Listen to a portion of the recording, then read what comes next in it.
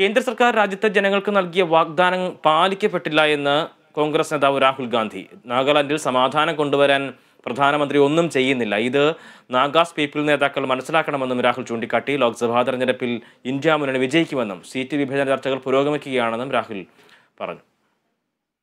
What the Prime Minister envisioned in terms of a solution. Nobody, I mean, it's a very, it's a superficial document that says, yes, we are going to work towards peace and joint sovereignty, but it's not clear what exactly they mean.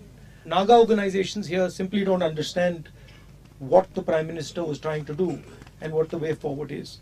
Uh, clearly, there is a problem that needs resolution. Status of the India alliance is very good. We are in conversation with our partners. The issue of seat sharing is being taken up. Those discussions are ongoing, and I think they're going quite well.